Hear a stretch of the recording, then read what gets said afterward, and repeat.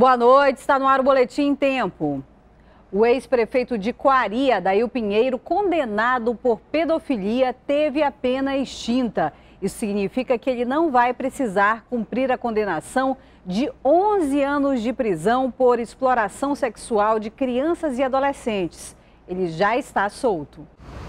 A decisão foi do Tribunal de Justiça do Amazonas. O juiz da Vara de Execuções Penais, Luiz Carlos Valoar, decidiu extinguir a pena de Adail Pinheiro e mandou expedir o alvará de soltura.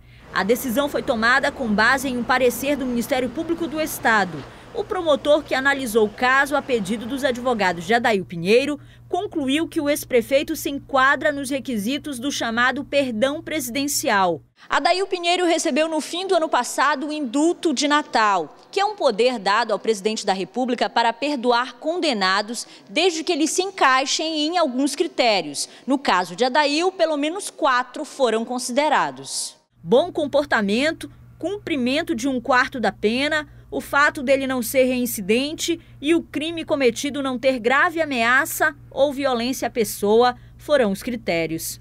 Ele foi condenado no caput, na cabeça desses, dessas tipificações, e nenhum deles tem o elemento da grave ameaça ou da violência.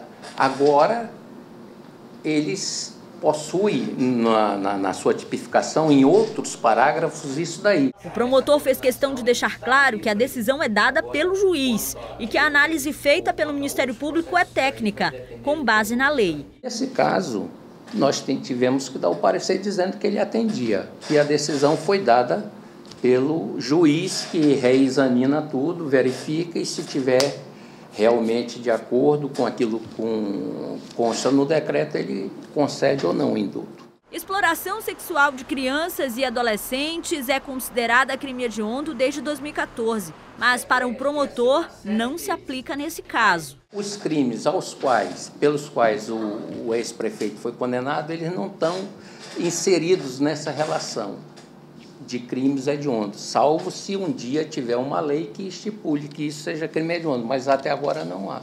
Adail Pinheiro escreveu uma carta hoje e publicou nas redes sociais como um desabafo. Ele cumpria a pena em regime domiciliar. Usava tornozeleira eletrônica. Ele foi condenado por exploração sexual de crianças e adolescentes. A pena era de 11 anos e 10 meses, mas ainda responde por crimes eleitorais ele foi preso pela primeira vez na Operação Vorax, em 2008, por suspeita de desviar 40 milhões de reais da Prefeitura de Coari.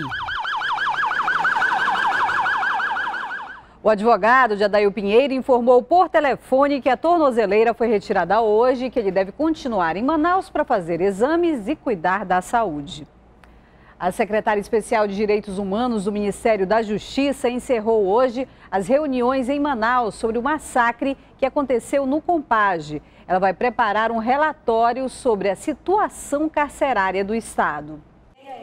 A secretária especial de Direitos Humanos reuniu com representantes da Defensoria Pública, OAB, Ministério Público e da Secretaria de Assistência Social, Direitos Humanos e Cidadania. Há uma preocupação com o funcionamento da cadeia pública Raimundo Vidal Pessoa, desativada em outubro do ano passado e que voltou a funcionar depois da rebelião. Quando há superpopulação carcerária, é, esta situação acaba por comprometer a possibilidade de ressocialização e sem ressocialização alimenta-se a reincidência. A comissão visitou o complexo penitenciário Anísio Jobim e comparou a realidade de hoje com os problemas apontados em um relatório em 2012 que já denunciava superlotação nos presídios da capital. A partir do momento que você tem é, esses estabelecimentos penais superlotados, você tem falta de assistências básicas, como alimentação, saúde, trabalho, educação. Então, toda essa falta, né, essa ausência de, de elementos básicos no cárcere, acaba é, criando um cenário muito tenso entre eles. A secretária também reuniu hoje à tarde com familiares dos detentos assassinados no massacre do Compage. Daqui deve sair um relatório sobre a situação carcerária do estado. Turistas foram assaltados por piratas na praia de um hotel de luxo na Ponta Negra. Os assaltantes armados chegaram pelo Rio Negro. A repórter Priscila Gama tem os detalhes. É isso mesmo, Marcela. Segundo informações da polícia, as vítimas do assalto estavam nesta área, próxima às margens do Rio Negro, quando foram abordadas por dois suspeitos armados que chegaram em uma embarcação no fim da tarde dessa terça-feira. Este local aqui é restrito apenas para visitantes, hóspedes e funcionários deste hotel de luxo aqui na Ponta Negra, na zona oeste da capital. Os criminosos levaram uma câmera fotográfica profissional e dois celulares importados. O caso foi registrado no 19º Distrito Integrado de Polícia e já é investigado. Eu volto com você no estúdio. E o nível do Rio Negro deve passar da média esperada na cheia deste ano. Quem tem os detalhes é a repórter Mariana Rocha. Diferente das outras calhas de rios no Amazonas, a enchente do Rio Negro não é influenciada pelas chuvas, e sim pelas águas pluviométricas na tríplice fronteira entre Brasil, Peru e Colômbia. Nesta quarta-feira, o Negro registrou a cota de 23 metros e 29 centímetros, bem acima da média no mesmo período do ano passado, quando foi registrado 19 metros e 89 centímetros. Só perdeu mesmo para a enchente histórica de 2000 2012, quando o negro atingiu quase 30 metros. O que preocupa no momento é a calha do Juruá. É porque os rios nessa calha, eles têm os leitos bem estreitos, por isso são os primeiros que sofrem com as enchentes. A Defesa Civil do Amazonas já está em contato com as prefeituras das cidades dessa calha do Juruá, que são Juruá, Guajará, Eirunepé, Itamaraty, Carauari, para que enviem um relatório emergencial sobre as possíveis áreas de alagação e também sobre a quantidade de pessoas de famílias que vivem nesses locais, para que se possa fazer um trabalho preventivo e evitar possíveis tragédias. Nessas calhas, como a do Juruá, a chuva preocupa e, segundo o CIPAM, devem ficar acima da média nos próximos meses. Já o CPRM, Serviço Geológico do Brasil, diz que este ano teremos uma enchente acima da média esperada. Eu volto com você no estúdio. O valor do transporte escolar não deve sofrer reajuste este ano. Pelo menos foi o que disse o sindicato do setor. Mas o preço não deve ser a única preocupação dos pais. O motorista precisa de autorização para oferecer esse tipo de serviço. Levar o filho à escola com um desconhecido exige precaução.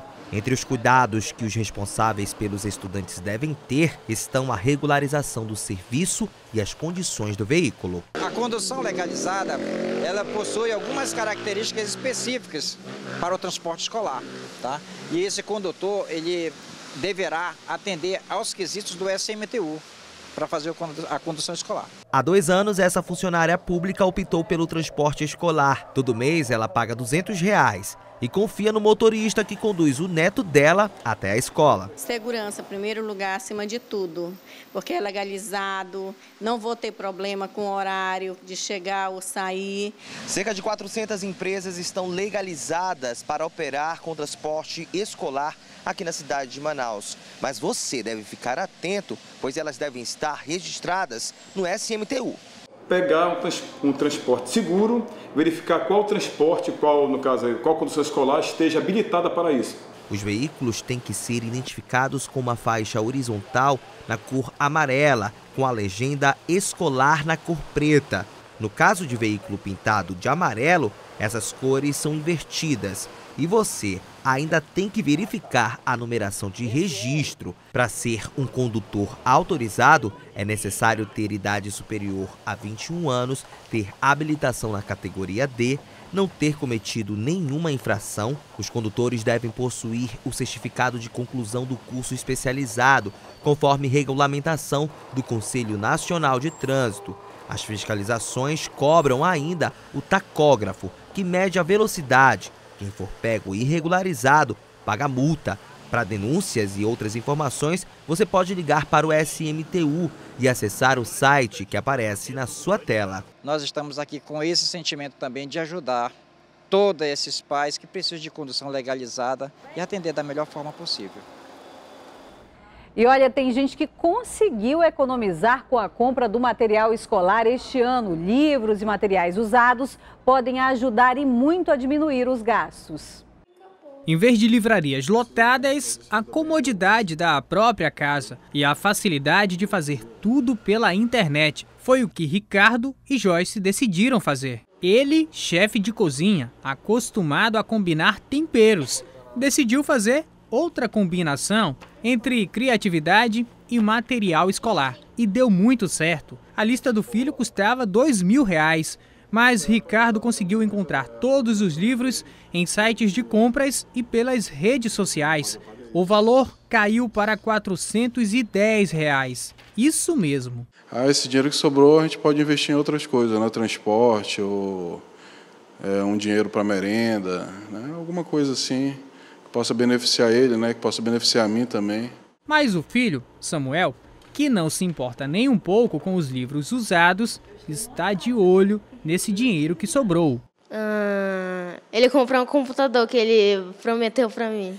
Início de ano é sempre igual. Você trabalha janeiro para pagar as contas de dezembro, além de quitar outras que vão vencer em fevereiro, o mês complicado. Tem os cartões de crédito, que tem que fazer a matrícula, comprar o material escolar, porque esse material estava lá, alguém usou, está disponível, está atualizado e você realmente consegue comprar com um preço muito mais em conta. Quem está tendo criatividade também é a Joyce. A vendedora está colocando os livros que eram da filha dela à venda também pela internet. É que a Stephanie, de 13 anos, está saindo da escola particular para o ensino público. Com o dinheiro, Joyce, que é vendedora de TV a cabo, pretende comprar o material escolar da filha. Vai dar para ajudar agora no material que ela vai comprar, um caderno, uma caneta, né? Os livros custam entre 10 e 70 reais. São mais de 20. Alguns foram comprados na época por mais de 150 reais. E eles já ajudaram bastante na educação de Stephanie. De história que eu li mais foi de história nas férias, eu também peguei para ler eles. É, eu gosto de história. Pois é, agora é hora de passar adiante para quem precisa. Já que ela não vai utilizar esses livros, coloca na internet para ajudar outros pais a comprar mais barato. Os livros já não têm o cheirinho de novo, mas o conteúdo ainda é o mesmo. E diante da crise, são muito bem-vindos. Eu sou Marcela Rosa e esse foi o Boletim Tempo.